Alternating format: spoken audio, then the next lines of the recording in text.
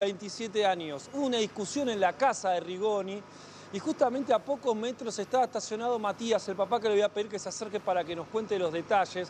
Fue una cuestión de segundos, nos decía, le quitó la vida. Aquí se acercan los padres. Yo me voy a, poner aquí a mi izquierda, a la derecha de, Matías. Vos justo estacionaste la camioneta enfrente de la casa de ella y escuchaste una explosión. Eh, no, más para atrás. 20 metros, me corro y me paro en la reja. Paro en la reja, agarrado así, quedaba la sombra. Cuando escucho la explosión del botellazo, salgo corriendo. ¿Qué imaginaste en ese segundo? No, no imaginé nada porque no vi nada. Lo que escuché, la explosión de la botella. Salgo corriendo y ya lo agarro en brazo. Lo agarro, levanto en brazo y él... ¿Entraste a la casa? Sí, sí, sí, sí. Lo sacamos con otro chico más, no sé quién era, en brazo. Y de ahí lo suelto que él venía caminando y salgo corriendo a buscar la camioneta. Lo levanto. Lo levantamos en la, en la ca- en la ca- en la caja de la camioneta y lo llevamos a Lupa. Cuando llegamos a Lupa ya llegó sin signos vitales. ¿Qué, qué viste? Me imagino que poco porque con Sí, la no. inmediatez de que tenías que agarrar a tu hijo no te permitió ver el resto de la escena. ¿Pero qué llegaste a ver? En reojo, eh, De reojo. de reojo veo todos mirando. La abuela, la madre, los pibitos, el hermano, todos mirando. Y nadie hizo nada. Nadie hizo nada. Pero est- esto se tiene que pagar. Ni un pollo menos. Ni un pollo menos. Vos, re- vos responsabilizás no solo a, a Luján, sino también al resto de la familia. Cómplice, sí, sí, sí, cómplice. Cómplice. La abuela, la madre de la asesina, los hermanos, todos los chiquitos mirando. Y nadie hizo nada. Yo entré corriendo cuando escuché la explosión del botellazo. Pero yo no, no vi ¿Qué había pasado y cómo fue? Sí, yo salí corriendo cuando escuché la explosión del botellazo. Y ahí salí corriendo como pude, me caí, me levanté, lo, lo socorrí, traje la camioneta, lo cargué y lo llevé. Mientras te pido que te calme, entiendo la angustia, entiendo la angustia y la impotencia. Voy a hablar, voy a hablar eh, con Jessica. Vos, Carlos, cuando quiera me interrumpí, yo Dale, le paso dale, el dale, retorno. no, no, dale, Pero dale. Jessica hablaba anteriormente, breve, de lo que era la relación con Luján. ¿Cómo era la relación de Benjamín con Luján? Estaban distanciados ya en el, en el momento del hecho. Ella, la- eh, Benjamín la había dejado hace rato ya a ella y ella andaba como loca buscándolo por todo lado. Ella había ido el viernes a las 4 de la mañana a mi casa a buscarlo, yo le dije que él no estaba y empezó a amenazar, a insultar. A- Amenazar, ¿qué decía? decía que iba a prender fuego, que él tiene una camioneta, que le iba a romper la camioneta, que le iba a prender fuego todo. Y se fue. Y lo fue a buscar en la casa de un amigo que vive acá a la vuelta y él estaba durmiendo en la camioneta y él estaba escondido ahí. Y es cuando después él se cruza en la cama del amigo a dormir en la pieza ahí, después él se levanta y va a la casa de ella a buscar una moto, la moto esta que está ahí eh, y se, se cruza con ella. Y ahí pasó, se pelearon ellos y pasó lo que pasó. Es decir, estaba obsesionada, se podría Ella sí, decir. sí. Él ya la había dejado, pero ella le dijo que lo iba a matar si no era para ella, no era para nadie.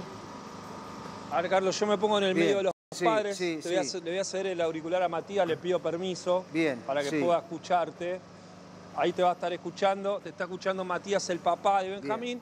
Cuando quiera le paso el auricular a, a Jessica. Está bien, hablamos con Matías. Matías, gracias por atendernos. Ella está detenida, la detuvieron. Eh, a ella la detuvieron. Sí, sí.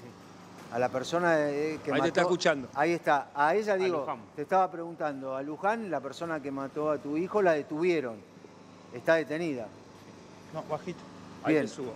Lo que pregunta Carlos es que a, Gust- a Luján la detuvieron. Bajito.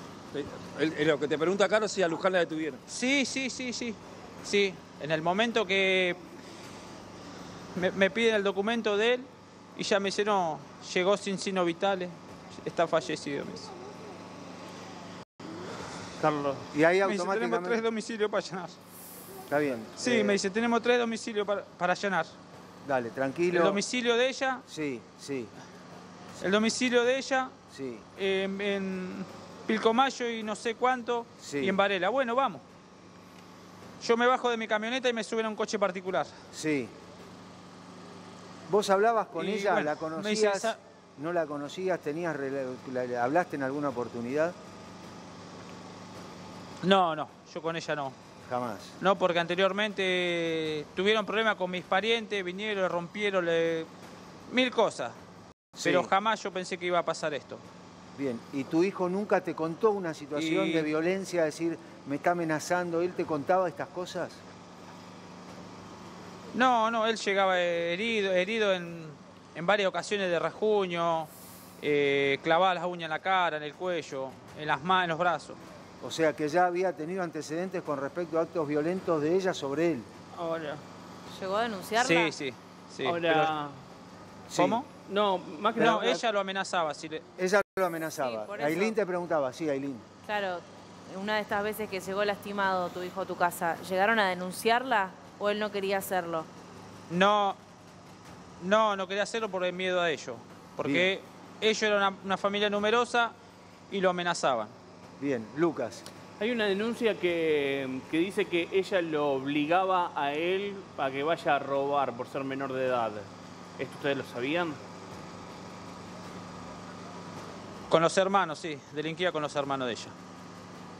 O sea, ella obligaba... Obligadamente delinquía. Sí, sí. Lo obligaba a delinquir con los hermanos de ella. Bien, ¿y cómo era esa situación? ¿Cómo se daba esa situación? Eh, ¿Cómo se daba la, la situación? Claro, Claro, la, ¿cómo la lo obligaba a decir, tenés que ¿En salir qué sí o sí. se daba? Claro. ¿Cómo lo ¿Lo amenazaba? Sí, sí o sí, quiero plata, quiero plata. Sí, sí, quiero plata que porque mi hija, porque mi hija, mis hijos, Ahora vos, diciendo todo que Tranquilo, Sí, tranquilo. decime. Dale, Ailín. digo, nunca, más allá de que tu hijo tenía miedo, claramente tenía 16 años, pero digo, a vos tampoco nunca se te ocurrió ir a hacer la denuncia contra esta mujer, siendo que lo amenazaba de muerte a tu hijo y a toda la familia. no, porque ella vive de del domicilio que estamos ahora a la casa de ella tenemos media cuadra y 20 metros Sí. A la vuelta, a la vueltita, como se dice a la vuelta. a la vueltita. Y vos, ¿entendés? Y ella vos lo que decís es que la familia también es culpable del asesinato de tu hijo. Sí, sí, sí, es cómplice, sí, es cómplice. ¿Y por es qué? cómplice, ¿Por porque ellos qué? estaban todos mirando. Bien, o sea que la dejaron actuar. Lo que vos decís que la dejaron actuar. Sí, sí, sí, sí. Bien. Sí, ellos todos estaban mirando, no uno solo, todos estaban Todos. mirando. Bien, incluso los hermanos con Todos, los sí. cuales él salía a delinquir. Sí, estaba afuera, enfrente, parado, mirando. Bien. Vos- Lucas. Vos fíjate, Carlos, cuál es la excusa ¿no? que utilizó Luján en el momento de que fue arrestada. Recién le pasé a la producción el video del momento cuando arrestan a Luján. Sí. Ahora, ¿Qué dijo Luján a la policía en el momento cuando van a arrestarla? Dijo, él intentó matarme, él me pegaba y yo me defendí y por eso lo maté. Es lo que dice Luján a la policía. No lo dice en fiscalía, pero se lo dice a la policía. Bien, ¿qué pasa con esta situación, con lo que dice Luján? Vos contás que es todo a la ve- al revés. Mirá, te, te voy a hacer más, pe- perdón Carlos, Sí, pero sí, cuando sí. te estaba contando Lucas recién, abrió la boca en señal de sorpresa, es decir, no estabas enterado de esto. Más, más testigo que yo, más testigo que yo no hay. Sí. Estaba el domicilio señalado en el allanamiento. Y estábamos esperando media hora, 40 minutos y, y no llegaba. Tranquilo. No llegaba ella.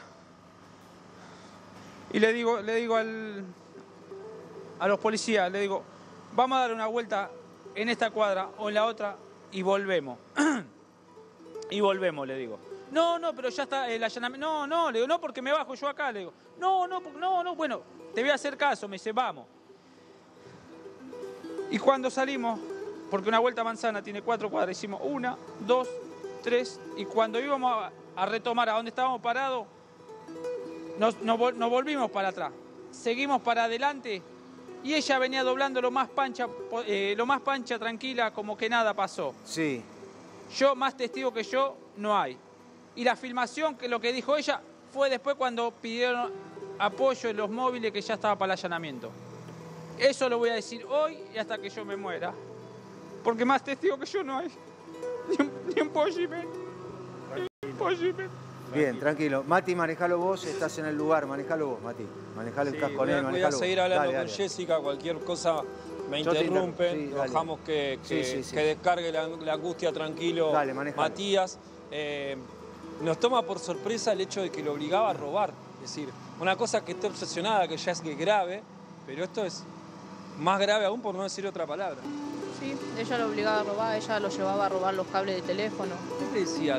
Que siempre un hijo a la madre le, le suele confesar este tipo de situaciones. No, él no me decía nada. nada. No, él no contaba nada. Porque él no quería que yo le diga nada a ella.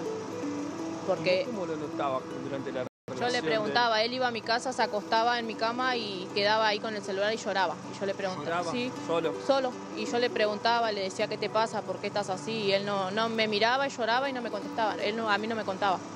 Porque él sabía que yo le iba a decir algo y si ella venía y me contaba algo, ella no le dejaba que él se acerque a mi casa. Él estuvo mucho tiempo peleado conmigo todo por ella, porque ella no le dejaba que él se acerque a mi casa. ¿Crees que Bien. él hacía todo Mati, lo que le obligaba Mati. a ella por, por alguna amenaza hacia ustedes? Por miedo. Sí, Carlos. No, estamos viendo la imagen, Estaba, le solamente... decía que el abuelo lo iba a matar, que le iba a dar un tiro. Era el mismo señor que vino a tirar tiro acá hace ratito. Va hacia al mediodía. Sí, porque hoy al mediodía la familia vino a amenazarnos a los tiros. Vino, tiró, como seis tiros habrán tirado. Hoy al mediodía hubo Y amenaza. ella lo amenazaba con el abuelo de ella que lo iba a matar. Mirá, Sí, estamos Carlos, viendo- perdón que te interrumpiera, No, no, justo todo Jessica bien. quería expresarse al respecto. Estamos viendo la imagen cuando la detienen a ella, porque recién el papá de, de él le estaba contando la situación. Y ahí estamos viendo, así detenían a la asesina. Estamos viendo las imágenes del momento de la detención. Lucas, esto es lo que estamos viendo. Así detenían a la asesina, así detenían a la persona que le cortó el cuello al hijo de Matías. Exactamente, así detenían a Luján Rigioni. Sí, estábamos mencionando 25 años de edad. El momento, Carlos, cuando la policía va a detenerla, ¿qué es lo que termina diciendo la propia mujer que está detenida? Sí. Lo maté porque él me quiso matar. Bien, Mati, te pido un segundo nada más, ya volvemos ahí. Dame un Sí, segundo claro. nada más que ya volvemos con estas dos imágenes. Ella en un momento y cuando es detenida, mató a un chico de 16 años. 16 años, ya volvemos. Mati, un segundo. Bien, dale. Esto es lo que vamos a hablar ahora. Dale, ponelo ahí un último momento, vamos.